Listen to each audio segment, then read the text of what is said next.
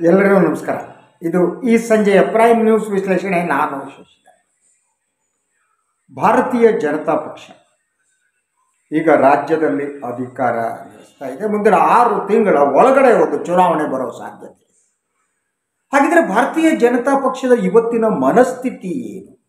ಇದು ತುಂಬ ಕುತೂಹಲಕರವಾದ ನಿಜ. ಮೇಲೆ ಯಾತ್ರೆಗಳು ನಡೀತಾ ಇವೆ. ಮುಖ್ಯಮಂತ್ರಿಗಳು ವೀರಾವೇಶದಿಂದ ಮಾತನಾಡ್ತಿದ್ದಾರೆ. ಯಡಿಯೂರಪ್ಪ ಮಾತನಾಡ್ತಿದ್ದಾರೆ, ಕೇಂದ್ರ ನಾಯಕರು ಮಾತನಾಡ್ತಿದ್ದಾರೆ, ಆದರೆ ಮುಂದಿನ ಚುನಾವಣೆಯಲ್ಲಿ ಬಿ ಜೆ ಪಿ ಅಧಿಕಾರಕ್ಕೆ ಬರುವ ಸಾಧ್ಯತೆ ಎಷ್ಟರ ಮಟ್ಟಿಗಿದೆ? ಈ ವಿಚಾರವನ್ನು ನೋಡುವಾಗ ಬಿ ಜೆ ಪಿಯ ಒಳಗಡೆ ಏನು ನಡೀತಾ ಇದೆ ಮತ್ತು ಓವರಾಲ್ ಸ್ಟ್ರಾಟಜಿಯನ್ನು ಬಿ ಜೆ ಪಿ ಬದಲಿಸೋದಕ್ಕೆ ಯತ್ನ ಮಾಡ್ತಾ ಇದೆ? ಎಸ್ ಒಂದು, ಭಾರತೀಯ ಜನತಾ ಪಕ್ಷ ತನ್ನ ವಿರೋಧಿ ಶಕ್ತಿಯನ್ನು ಅರ್ಥ ಮಾಡಿಕೊಳ್ಳುವುದರಲ್ಲಿ ಎದ್ದು ವಿಫಲ ಎ ಥಿಂಕ್ ಟ್ಯಾಂಕ್ ಒಂದು ಇಡೀ ಒಂದು ಅವರ ಕಾರ್ಯಾಚರಣೆ ಏನಿರುತ್ತೆ, ಆ ಕಾರ್ಯಾಚರಣೆ ವಿರೋಧಿ ಪಕ್ಷಗಳ ಶಕ್ತಿಯ ಮೇಲೆ ಅದು ತನ್ನ ಕಾರ್ಯಾಚರಣೆಯನ್ನು ರೂಪಿಸುತ್ತೆ. ಈಗ ಅವರಿಗೆ ಕಾಂಗ್ರೆಸ್ ಶಕ್ತಿ ಏನು ಅನ್ನೋದು ಗೊತ್ತಿದೆ. ಇತ್ತೀಚಿನ ತಿಂಗಳುಗಳಲ್ಲಿ ಕಾಂಗ್ರೆಸ್ ಪಕ್ಷ ಮುಳುಗಿ ಹೋಯಿತೇನೋ ಅಂತ ಹೇಳ್ತಾ ಇದ್ದಂಥ ಕಾಂಗ್ರೆಸ್ ಪಕ್ಷ ಈಗ ಎದ್ದು ನಿಂತಿದೆ. ಇದು ಬಿ ಜೆ ಪಿಯ ಮುಂದೆ ಇರುವ ಬಹುದೊಡ್ಡ ಸವಾಲು. ಎರಡನೇದು ಕಾಂಗ್ರೆಸ್ ಪಕ್ಷಕ್ಕೆ ಒಂದು ಬೇಸಾದ ಓಟು ಕರ್ನಾಟಕದಲ್ಲಿ ಇದ್ದೇ ಇದೆ. ಯಾವ ಸಂದರ್ಭದಲ್ಲೂ ಕೂಡ ಬಿ ಜೆ ಪಿ ಕಾಂಗ್ರೆಸ್ಸನ್ನು ಸಂಪೂರ್ಣವಾಗಿ ಸೋಲಿಸುವುದಕ್ಕೆ, ಮಣಿಸುವುದಕ್ಕೆ ಸಾಧ್ಯ ಆಗಿಲ್ಲ. ಅದನ್ನು ಇನ್ನೊಂದು ರೀತಿ ನೋಡೋದಾದರೆ, ಕರ್ನಾಟಕದ ರಾಜಕೀಯ ಇತಿಹಾಸದಲ್ಲಿ ಬಿ ಜೆ ಪಿ ಏನು ನೂರ ಹದಿಮೂರು ಸ್ಥಾನಗಳನ್ನು ಪಡೆದೇ ಇಲ್ಲ. ಅವರು ಪಡೆದ ಮ್ಯಾಕ್ಸಿಮಮ್ಮು ನೂರ ಹತ್ತು ಸ್ಥಾನಗಳು. ಅಂತಹ ಸನ್ನಿವೇಶದಲ್ಲಿ ಬೇರೆ ಪಕ್ಷದವ್ರನ್ನ ಸೆಳೆದುಕೊಂಡು ಸರ್ಕಾರ ಮಾಡಿದೆ. ಯಡಿಯೂರಪ್ಪನವರ ಪಾಪ್ಯುಲಾರಿಟಿ ಅತ್ಯುನ್ನತವಾದ ಸ್ಥಿತಿಯಲ್ಲಿದ್ದಾಗಲೂ ಕೂಡ ಅವರಿಗೆ ಎಬ್ಸುಲ್ಯೂಟ್ ಮೆಜಾರಿಟಿಯನ್ನು ಪಡೆಯೋದಕ್ಕೆ ಸಾಧ್ಯ. ಆದ್ರಿಂದ ಗೊತ್ತಿದೆ ಅಂದರೆ ಕರ್ನಾಟಕದಲ್ಲಿ ಇದು ಕಾಂಗ್ರೆಸ್ ಬೇಸ್ ಇರುವ ರಾಜ್ಯ ಅನ್ನೋದು ಬಿ ಜೆ ಪಿಗೆ ಮೊದಲನೇ ಸವಾಲು. ಎರಡನೇ ಸವಾಲು ಒಂದು ಸಿದ್ದರಾಮಯ್ಯ ಒಬ್ಬ ಜನನಾಯಕರು ಅನ್ನೋದು ಮತ್ತು ಹಾಗೆ ಡಿ ಕೆ ಶಿವಕುಮಾರ್ ಅವರು ಪಕ್ಷ ಸಂಘಟಿಸುವುದರಲ್ಲಿ ನಿಸ್ಸೀಮರು ಅನ್ನೋದು. ಇದು ಬಿ ಜೆ ಪಿಗೆ ಎರಡನೆಯ ಬಹುದೊಡ್ಡ ಸವಾಲು. ಮೂರನೇ ಸವಾಲು, ನೀವು ಉತ್ತರ ಭಾರತದಲ್ಲಿ ಹಿಂದುತ್ವ ಹೇಗೆ ಸೇಲ್ ಆಗುತ್ತೋ ಆ ಮಟ್ಟದಲ್ಲಿ ಕರ್ನಾಟಕದಲ್ಲಿ ಹಿಂದುತ್ವ ಸೇಲ್ ಆಗಲ್ಲ. ಅದಕ್ಕೊಂದು ಬೆಲ್ಟ್ ಇದೆ ಅವ್ರು, ಹಿಂದುತ್ವವನ್ನು ಮುಸ್ಲಿಂ ಇರೋದನ್ನು ಸೇಲ್ ಮಾಡೋದು ಇದೆಯಲ್ಲ, ಅದಕ್ಕೊಂದು ಬೆಲ್ಟ್ ಇದೆ. ದಕ್ಷಿಣ ಕನ್ನಡದಿಂದ ಚಿಕ್ಕಮಗಳೂರು, ಉತ್ತರ ಕನ್ನಡ ಹೀಗೆ ಬೆಲ್ಟು ಅದರ ಜೊತೆ ಉತ್ತರ ಕರ್ನಾಟಕದಲ್ಲಿ ಈ ಹಿಂದುತ್ವದ ರೂಪರೇಷೆಗಳು ಬೇರೆ ಅದನ್ನು ಸ್ವೀಕಾರ ಮಾಡುವ ರೀತಿ. ಉತ್ತರ ಪ್ರದೇಶದಲ್ಲಿ ನೀವು ಮಾಡಿದಂತೆ ನಮ್ಮ ಉತ್ತರ ಕರ್ನಾಟಕದಲ್ಲೂ ಕರ್ನಾಟಕದಲ್ಲಿ ಮಾಡೋಕ್ಕಲ್ಲ ಇದು ಒಂದು ಅವರಿಗೆ ಸವಾಲು. ಈ ಸವಾಲನ್ನು ಎದುರಿಸುವುದಕ್ಕೆ ಇದು ರಾಜಕೀಯ ಪಕ್ಷಗಳ ಚುನಾವಣಾ ಸಂದರ್ಭದಲ್ಲಿ ಹೇಗೆ ಅಂತಂದರೆ, ಅವರು ಅಂಗಡಿ ತೆರೆದಿಟ್ಟಂಗೆ. ಅಂಗಡಿಯಲ್ಲಿ ಯಾವ್ಯಾವ ವಸ್ತುಗಳನ್ನ ಇಟ್ಕೋಬೇಕು? ಎಲ್ಲ ಕಡೆ ಒಂದೇ ರೀತಿ ವ್ಯಾಪಾರ ಆಗಲ್ಲ. ನೀವು ದೇವಸ್ಥಾನದ ಪಕ್ಕದಲ್ಲಿ ನೀವು ಹಣ್ಣು, ಹಂಪಲ ಅಂಗಡಿನೇ ಅಲ್ವಾ? ಎಲ್ಲಿ ನಾನ್ ವೆಜ್ ತಿನ್ನುವರು ಇರ್ತಾರಲ್ಲ ನಾನ್ ವೆಜಿಟೇರಿಯನ್ ಮಾರಾಟ ಮಾಡಬೇಕು ಸೊ ಇಡೀ ಇದು ಏಕರೂಪವಾಗಿ ಇರಲ್ಲ. ಈಗ ಅಂಗಡಿ ತೆರೆದು ಕೂತಂತಹ ಸಂದರ್ಭದಲ್ಲಿ. ಕಾಂಗ್ರೆಸ್ ಒಂದು ಕಡೆ ಅಂಗಡಿ ತೆರ್ಕೊಂಡು ಕೂತಿದೆ, ಇನ್ನೊಂದು ಕಡೆ ಬಿ ಜೆ ಪಿ ಅಂಗಡಿ ತೆರ್ಕೊಂಡು ಕೂತಿದೆ. ಅಲ್ಲಿ ಪಕ್ಕದಲ್ಲಿ ಜೆ ಡಿ ಎಸ್ ಅಂಗಡಿ ಮೂರು ಅಂಗಡಿ ಈ ಮೂರು ಅಂಗಡಿಗಳು ಮೂರು ವಿಚಾರವನ್ನು ಮಾರಾಟ ಮಾಡ್ತಾರೆ. ಫಾರ್ ಎಕ್ಸಾಂಪಲ್ ಕಾಂಗ್ರೆಸ್ ಏನಿದೆ? ಕಾಂಗ್ರೆಸ್ ಒಂದು ಸೈದ್ಧಾಂತಿಕವಾದ ಕ್ಲಾರಿಟಿ ಈಗ ಕಾಂಗ್ರೆಸ್ ಪಕ್ಷಕ್ಕೆ ಬರ್ತಾ ಇದೆ.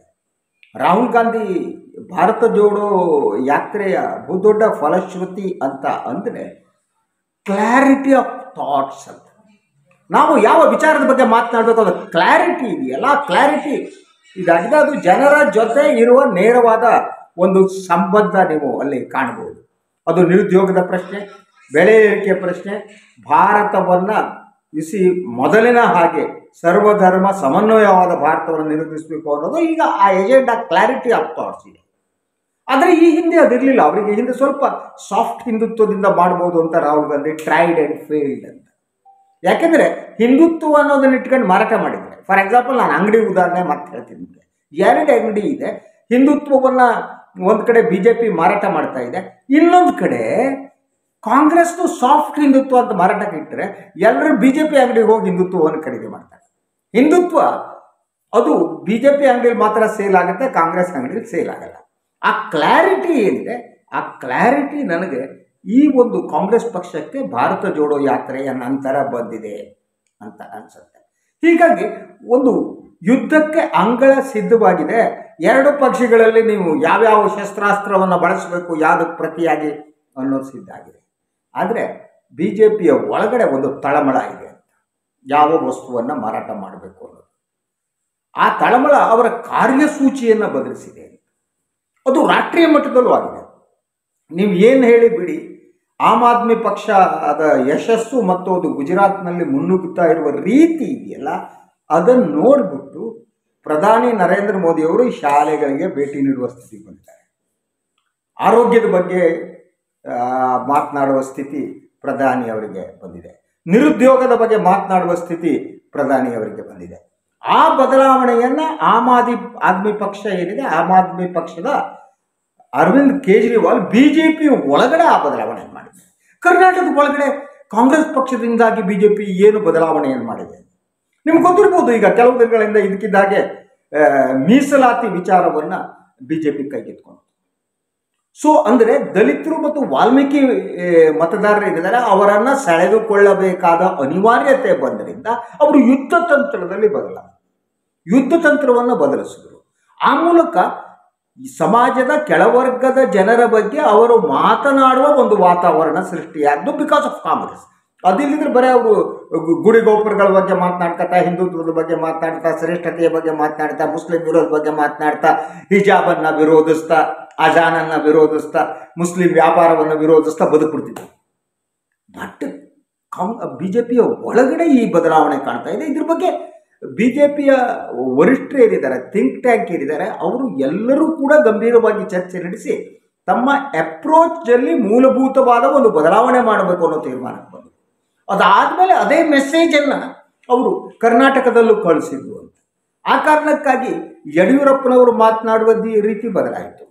ಅದರಂತೆ ಮುಖ್ಯಮಂತ್ರಿಗಳು ಮಾತನಾಡುವ ರೀತಿ ಬದಲಾಯಿತು. ಅವರು ಇಶ್ಯೂಸನ್ನು ಸಿಲೆಕ್ಟ್ ಮಾಡೋದು ಬದಲಾಯಿತು. ಇದಕ್ಕಿದ್ದಾಗ ದಲಿತರ ಮನೆಗಳಿಗೆ ಭೇಟಿ ನೀಡೋದಕ್ಕೆ ಪ್ರಾರಂಭ ಮಾಡಿದ್ರು. ದಲಿತರ ಮನೆಗೆ ಭೇಟಿ ನೀಡಿ ಬಂದ ಮೇಲೆ ಮೀಸಲಾತಿ ನಾನು ಹೇಳಿದಾಗೆ ಅದು ಪ್ರಕಟ ಮಾಡಲಾಯಿತು.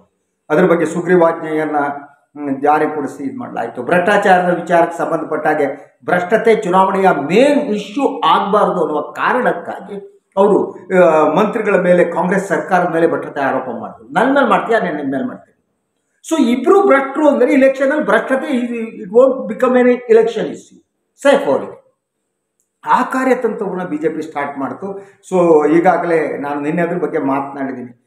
ಸೌರ ಯುದ್ಧತ್ವ ಇದಕ್ಕೆ ಸಂಬಂಧಪಟ್ಟ ಹಾಗೆ ಅಂದಿನ ಇಂಧನ ಸಚಿವರ ಮೇಲೆ ಟಾರ್ಗೆಟ್ ಮಾಡಿ. ಇದೆಲ್ಲ ಸ ಪಾರ್ಟ್ ಆಫ್ ನ್ಯೂ ಸ್ಟ್ರಾಟಜಿ ಅಂತ. ಸೊ ಈ ಸ್ಟ್ರಾಟಜಿಯಲ್ಲಿ ಅವರು ಯಾವುದನ್ನು ಕೂಡ ಈ ಹಂತದಲ್ಲಿ ತಾರ್ಕಿಕ ಅಂತ್ಯಕ್ಕೆ ತಗೊಂಡು ಹೋಗಲ್ಲ ಅಂತ. ಅವ್ರು ಎಷ್ಟೇ ಆದರೂ ಕೂಡ ಸಿದ್ದರಾಮಯ್ಯ ಸರ್ಕಾರ ಭ್ರಷ್ಟ ನಡೆದಂಥ ಭ್ರಷ್ಟಾಚಾರ ಅಷ್ಟಾಯಿತು ಇಷ್ಟಾಯ್ತು ಅಂತಾರೆ. ಆದರೆ ಆ ಬಗ್ಗೆ ಒಂದು ತನಿಖೆ ನಡೆಸಿ ಇನ್ನೇನೋ ಮಾಡಕ್ಕೆ ಹೋಗಲ್ಲ. ಸೊ ಅದನ್ನು ಒಂದು ಚರ್ಚೆಯ ವಿಚಾರವಾಗಿಟ್ಟು ಅಂದರೆ ಅವರು ಬ್ರಹ್ಮಾಸ್ತ್ರ ಬಿಟ್ಟರೆ ನಾನು ಈ ಅಸ್ತ್ರ ಬಿಡ್ತೀನಿ ಅಷ್ಟೇ ಅದು ಸೀಮಿತ. ಆದ್ದರಿಂದ it's not an issue at all it don't become an issue at all so ಭ್ರಷ್ಟಾಚಾರ ಇಶ್ಯೂ ಆಗದಿದ್ದಾಗ ಹಿಂದುತ್ವ ಕೂಡ ಇಶ್ಯೂ ಆಗಲ್ಲ. ಇಲೆಕ್ಷನಲ್ಲಿ ಈ ಇಲೆಕ್ಷನ್ ಇಶ್ಯೂ ಆಗೋದೇನು? ಒಂದು ಬೆಲೆ ಏರಿಕೆ ಇಶ್ಯೂ ಆಗುತ್ತೆ, ಅದ್ರ ಬಗ್ಗೆ ಗಂಭೀರ ಚರ್ಚೆ ನಡೀತಾ ಇಲ್ಲ. ನಿರುದ್ಯೋಗ ಇಶ್ಯೂ ಆಗುತ್ತೆ, ಅದ್ರ ಬಗ್ಗೆ ಗಂಭೀರ ಚರ್ಚೆ ನಡೀತಿಲ್ಲ ಆದರೆ ಸಮಾಜದ ಕೆಳವರ್ಗದ ಜನ ಸಮುದಾಯಕ್ಕೆ ಏನನ್ನ ಕೊಟ್ಟಿದ್ದೀವಿ ನಾವು ಕೊಡ್ತಿದ್ದೀವಿ ಅಂತ. ಅಂದರೆ ಇಡೀ ಚುನಾವಣಾ ಇತಿಹಾಸದಲ್ಲಿ ಭಾರತೀಯ ಜನತಾ ಪಕ್ಷ ಈ ಮಟ್ಟದಲ್ಲಿ ಈ ಮಟ್ಟದಲ್ಲಿ ಶಿಕ್ಷಣದ ಬಗ್ಗೆ ಮಾತನಾಡೋದಾಗಲಿ ಮಾಡಿಲ್ಲ. ಈ ಮಟ್ಟದಲ್ಲಿ ದಲಿತರ ಬಗ್ಗೆ ಮಾತನಾಡೋದಾಗಲಿ ಮಾಡಿಲ್ಲ. ಹಿಂದುಳಿದ ವರ್ಗದ ಬಗ್ಗೆ ಈ ರೀತಿ ಮಾತಾಡಿಲ್ಲ, ಬರೀ ಹಿಂದುತ್ವದ ಅಸ್ತ್ರ ಅವರು. ಆದ್ದರಿಂದ ಹಿಂದುತ್ವದ ಅಸ್ತ್ರದ ಜೊತೆಗೆ ಅವರು ಈಗ ತಮ್ಮ ಬತ್ತಳಿಕೆಯಲ್ಲಿ ಇನ್ನಷ್ಟು ಹೊಸ ಅಸ್ತ್ರಗಳನ್ನು ಸೇರಿಸ್ಕೊಂಡಿದ್ದಾರೆ. ಬಿಕಾಸ್ ಇದು ಆ ಪಕ್ಷದ ಒಳಗಡೆ ಇರುವ ತಳಮಳದಿಂದ ಬಂದದ್ದು. ಅದರಿಂದ ಇದು ಇವರ ಅಂಗಡಿಯಲ್ಲಿ ಮಾರಾಟ ಆಗ್ತದೆ ಗೊತ್ತಿಲ್ಲ ನನಗೆ. ಯಾಕಂದರೆ ಮೀಸಲಾತಿ ಇವತ್ತು ಎಲ್ಲರೂ educated. See all all people are educated ಆಗಿರುವುದರಿಂದ ಅವರು ಇದ್ರ ಬಗ್ಗೆ ಮಾತು ಇದು ಮಾಡ್ತಾರೆ ಎಷ್ಟು ಮಟ್ಟಿಗೆ ಜನ ಮರಳಾಗ್ತಾರೆ ಗೊತ್ತಿಲ್ಲ ನನಗೆ. ಆದರೆ ಅವರು ಸ್ವಲ್ಪ ಮಟ್ಟಿಗೆ ಇದು ಬಂದರೂ ಸಾಕು. ಯಾಕಂದರೆ ಅವರು ವೋಟ್ ಬ್ಯಾಂಕ್ ಲಿಂಗಾಯತರಿದ್ದಾರೆ ಬ್ರಾಹ್ಮಣರಿದ್ದಾರೆ ಅದರ ಜೊತೆಗೆ ಹಿಂದುಳಿದ ಸ್ವಲ್ಪ ವೋಟ್ ಬಂದರೆ ದೇ ವಿಲ್ ಬಿ ಸಕ್ಸಸ್ಫುಲ್ ಅನ್ನೋದು ಪ್ಲ್ಯಾನ್ ಇದು ಎಷ್ಟರ ಮಟ್ಟಿಗೆ ಆಗುತ್ತೋ ಗೊತ್ತಿಲ್ಲ. ಒಟ್ಟಾರೆಯಾಗಿ ಭಾರತೀಯ ಜನತಾ ಪಕ್ಷದ ಒಳಗಡೆ ತಳಮಳ ಇದೆ, ಭಯ ಇದೆ. ನಾವು ಗೆಲ್ಲುವುದಿಲ್ಲೋ ಅನುಮಾನ ಇದೆ. ಆ ಕಾರಣಕ್ಕಾಗಿ, ಆ ಕಾರಣಕ್ಕಾಗಿಯೇ ಜೆ ಡಿ ಎಸ್ ಜೊತೆಗೆ ಒಂದು ಸಂಬಂಧವನ್ನು ಈಗಲೇ ರೂಪಿಸುವ ಕೆಲಸ ನಡೀತಿದೆ. ದೇವೇಗೌಡರ ಆರೋಗ್ಯ ಹೇಗಿದೆ ಮುಖ್ಯಮಂತ್ರಿ ನೋಡ್ಕೊಂಡು ಬಂದರು, ಅಶೋಕ್ ನೋಡ್ಕೊ ಬಂದರು, ಇವತ್ತೇನು ಅಶ್ವಥ್ ನಾರಾಯಣ ಹೋಗಿ ನೋಡ್ಕೊ ಬಂದ್ರಂತೆ. ಸೊ ಆದ್ದರಿಂದ ಚುನಾವಣಾ ಪ್ರಚಾರಗಳು ಕೂಡ ಜೆ ಡಿ ಎಸ್ ಬಗ್ಗೆ ಅವರು ಈ ಅಟ್ಯಾಕ್ ಮಾಡ್ತಾ ಇಲ್ಲ. ಕಾಂಗ್ರೆಸ್ನಲ್ಲಿ ಸಿದ್ದರಾಮಯ್ಯ ಸ್ವಲ್ಪ ಅಟ್ಯಾಕ್ ಮಾಡ್ತಿದ್ರೆ ಈಗ ಅವರು ಸ್ವಲ್ಪ ಕಡಿಮೆ ಮಾಡಿದ್ದಾರೆ ಬಿಕಾಸ್ ಆಫ್ ರಾಹುಲ್ ಗಾಂಧಿ, ಸೋನಿಯಾ ಗಾಂಧಿ ಸೂಚನೆ ಬಂದಿರ್ಬೋದು. ಆದ್ದರಿಂದ ಸಿ ಒಂದು ಜೆ ಡಿ ಎಸ್ ಒಂಥರ is in a driver seat ಏನು ಗೊತ್ತಿಲ್ಲ. ಬಿ ಜೆ ಪಿ ದೇವೇಗೌಡರ ಮೇಲಾಗಲಿ ಕುಮಾರಸ್ವಾಮಿ ಮೇಲೆ ಅಟ್ಯಾಕ್ ಮಾಡ್ತಿಲ್ಲ ಅಂದರೆ ಈ ಮೂರೂ ರಾಜಕೀಯ ಪಕ್ಷಗಳು ಚುನಾವಣೆಯ ನಂತರ ಅತಂತ್ರ ವಿಧಾನಸಭೆ ಸೃಷ್ಟಿಯಾಗಬಹುದು ಅನ್ನುವ ಆಲೋಚನೆಯಲ್ಲಿದ್ದಾರೆ. ಆ ಭಯ ಕಾಡ್ತಾ ಇದೆ. ಬಿ ಜೆ ಪಿ ಅಧಿಕಾರ ಉಳಿಸಿಕೊಳ್ಳುವುದಕ್ಕಾಗಿ ಜೆ ಡಿ ಎಸ್ ಜೊತೆ ಸಂಬಂಧ ಬೆಳೆಸುವುದಕ್ಕೆ ಈಗಾಗಲೇ ಮಾತುಕತೆ ನಡೆದಿದೆ. ಹೋಗಿ ಹೆಣ್ಣು ನೋಡ್ಕೊ ಬಂದಾಗಿದೆ. ಆಯಿತಾ, ತಾಂಬೂಲ ಹಣ್ಣು ಹಂಪಲೆಲ್ಲ ಹಂಚ್ಕೊಂಡಾಗಿದೆ. ಒಂಥರ ಎಲ್ಲ ಆದಂಗೆ ಕಾಣುತ್ತೆ. ನಂತರ ಮದುವೆ ಗೊತ್ತಿಲ್ಲ. ಆದರೆ ಇದರು ಜೆ ಡಿ ಎಸ್ ಪಾರ್ಟಿ ಹೇಳೋಕ್ಕಾಗಲ್ಲ ಅವರು. ಅವ್ರು ನಾಳೆ ಮದುವೆ ಅಂತಂದರೆ ಇವತ್ತು ಹೋಗ್ಬಿಟ್ಟು ಇಲ್ಲಿ ಮದುವೆ ಆದರೂ ಆದರು ದಟ್ ಈಸ್ ದ ಕ್ಯಾರೆಕ್ಟರ್ ಆದರೆ ಬಿ ಜೆ ಪಿ ಸ್ಟ್ರೈಲ್ ಬಿ ಜೆ ಪಿ ಒಳಗಡೆ ಗೊತ್ತಾಗಿದೆ. ಅದೇ ಬಿ ಜೆ ಪಿಯ ಆತಂಕ, ಅದೇ ಬಿ ಜೆ ಪಿಯ ತಳಮಳ. ಈ ಆತಂಕ ಮತ್ತು ತಳಮಳದಿಂದ ಹ್ಯಾಗೆ ಬರುತ್ತೆ ನೋಡೋಣ. ಎನಿವೆ ಇದು ಇವತ್ತು ಗಂಟೆ, ಇವತ್ತು ಒಂಬತ್ತು ಗಂಟೆ ಪ್ರೈಮ್ ನ್ಯೂಸ್ ಮತ್ತೆ ಬರ್ತೇನೆ, ಮತ್ತೆ ಮಾತಾಡ್ತೀನಿ. ಎಲ್ಲರಿಗೂ ಶುಭರಾತ್ರಿ, ನಮಸ್ಕಾರ.